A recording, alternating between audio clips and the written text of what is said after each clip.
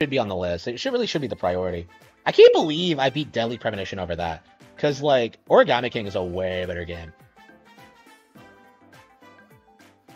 Am I ready for Spoony to?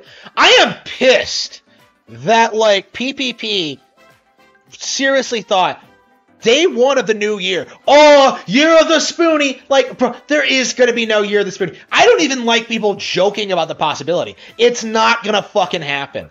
Okay? Like, shut the fuck up. Like, I'm just. I don't know. It's weird. I, I've talked about this before, but like, it's weird thinking about how I'm technically more successful than Spoony is. Because uh, I actually have a job. I actually have a house. I actually have, you know, my internet career, you know, that I'm not going to throw away for like bullshit reasons. You know, like I actually have, you know, a, a real life. Like, meanwhile, Spoony's just like incessantly tweeting about like board games that he plays by himself. Like, who the fuck cares? Like, oh, Star Trek was crazy to watch on like my satellite TV. Like, shut the fuck up, Spoony. Like, I don't want him to come back. Like, because like, if he comes back, you just know that like all of the fans who have spent the past decade of their lives demanding he come back are just gonna lose interest because he's just not that talented. Like, it's just like they can't they can't process that like Spoony isn't capable of being who he was 10 years ago.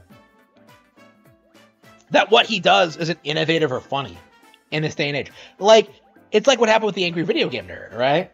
The only difference is, is that like James kept producing content and kept living a normal life. It, it's Spoony who like thinks he's hot shit. Like nerd fans were like willing to admit when like James was like going downhill and when he when he should stop and stuff like that. But like Spoony fans think he should do it forever. Like, eh, come, I I, I hate that shit. I, I really do.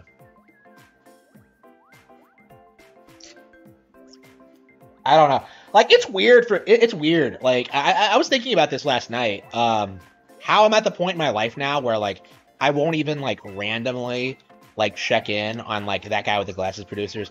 Like when uh, Lindsay Ellis's book came out, that was kind of the last time I ever really thought about like any of like the extended cast. I've like seen the occasional Doug Walker video, like the Mario ones, and uh occasionally watched old Spoony content. But other than that, like yeah, never We'll never watch Linkara again. We'll never watch uh, Brad Jones. We'll never watch any of those guys. They're all shit.